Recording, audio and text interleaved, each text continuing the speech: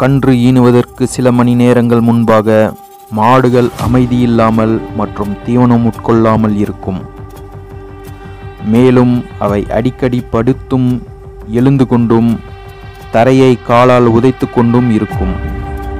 கன்று ஈனும் அறிகுறிகள் தென்பற்ற மாடுகளை மற்ற மாடுகளிலிருந்து தனியாக பிரித்து வைத்து தொடர்ந்து கண்காணித்து வர வேண்டும். கன்று ஈனும் இடத்தை மிகவும் சுத்தமாக வைத்துக் கொள்ளுதல் அவசியம். இதன் மூலம் தாய்க்கும் சேய்க்கும் இதமான சூழ்நிலைகள் ஏற்படுவதோடு மட்டுமல்லாமல் கன்று ஈனுவதில் தாய்க்கு அமைதியான சூழ்நிலை ஏற்படுகிறது. பிறப்புறுப்பின் வழியாக பனிக்குடம் என்று சொல்லப்படும் சவ்வு மூடிய நீப்பை வெளிவரத் தொடங்குவதே கன்று பிறப்பதற்கான முதல் அறிகுறியாகும்.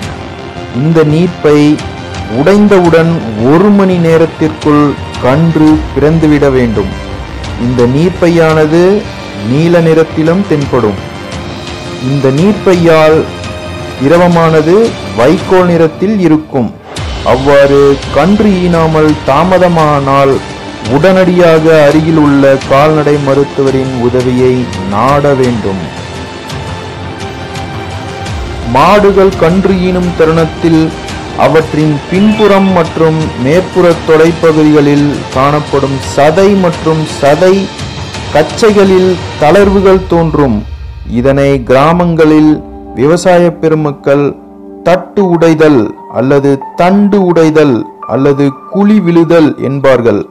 இவ்வாறு தளர்வு ஏற்பட்ட இருபத்தி நாலு மணி நேரத்திலிருந்து மாடுகள் கன்றை ஈனும் கன்று ஈனும் மாட்டின் அறையில் வெளிப்புற பெண் உறுப்பின் உதடுகள் வீங்கியும் பெரிதாகவும் மிகுந்த இலக்கத்துடனும் காணப்படும். கன்று ஈனும் தருணத்தில் இத்தளர்ச்சியானது ரெண்டு முதல் ஆறு மடங்கு வரை காணப்படும். பொதுவாக கிடாரிகளில் சினையான நான்காம் அல்லது ஐந்தாம் மாதத்திலிருந்து மடிவிட ஆரம்பித்துவிடும். ஆனால் ஏற்கனவே கன்று ஈனுவதற்கு ஒரு வாரம் முன்னதாகத்தான் மடிவிட ஆரம்பிக்கும்.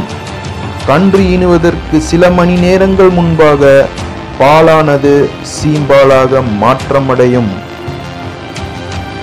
கன்று பிறக்கும்போது இரு முன்னங்கால்களை நீட்டி அதன் மீது மூக்குப்பகுதி முன்னால் நோக்கி இருக்கும்படி தலையை வைத்து அது வெளியே வரும். சில மாடுகளில் இதை பார்த்து விவசாயிகள் பயப்பட தேவையில்லை. இந்த நிலையிலும் கன்று தானாகவே இன்றப்பட்டுவிடும். சில சமயங்களில் கன்று கருப்பையில் இயற்கைக்கு மாறாக திரும்பியோ புரண்டோ தலைகீழாகவோ இருக்கலாம். அவ்வாறு இருக்கும்போது கன்று ஈனுதல் மிகவும் கடினம். அத்தருணங்களில் அருகில் உள்ள கால்நடை மருத்துவரின் உதவியுடன் கன்றின் நிலையை நோக்கி கன்று ஈன வழிவகை செய்ய வேண்டும். விவசாயிகள் முறையாக பயிற்சி பெறாதவர்களை கொண்டோ அல்லது தாங்களாகவோ கன்றை வெளியே இழுக்க முயற்சி செய்யக்கூடாது.